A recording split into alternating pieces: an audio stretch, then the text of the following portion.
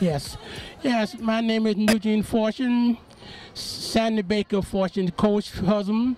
She was a double dutch show for like 10 years. And uh, we had the jazzy jumper that we did it for years and she proud doing it. She enjoyed doing what she doing. And so that I'm very nice to be here today that to be her assistant coach after she passed away.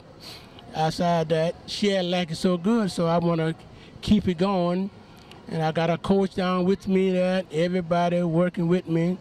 And we having a lot I having a lot of fun doing it. This is my second year of doing it, but still I enjoy doing what I'm doing. This is Wanda Warren. I'm here at the famous Apollo Theater. We're about to watch these great double dutchers. I have my sister-in-law here, my great nieces, and my son.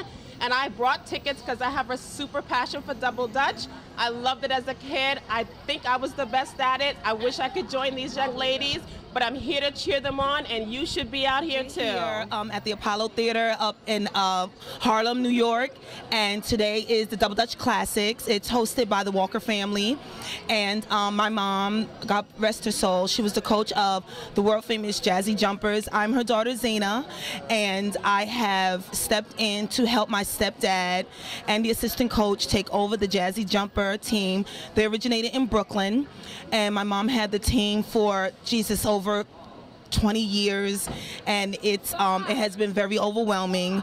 I'm, I'm I'm so happy to be here and to be able to to help fulfill her legacy and continue to push forward the team that she had taken over and made them the world famous jazzy jumpers that they are.